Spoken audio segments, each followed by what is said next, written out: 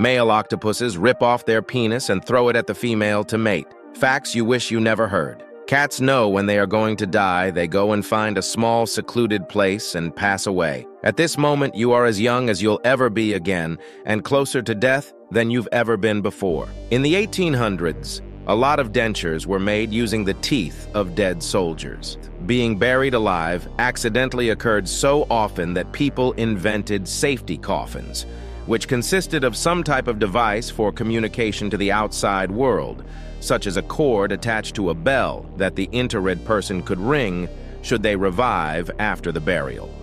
The insect that fertilizes a fig stays in the fig. Coffin birth is the expulsion of a non-viable fetus from the body of a deceased pregnant woman due to increasing pressure from intra-abdominal gases. Smarter people like and subscribe.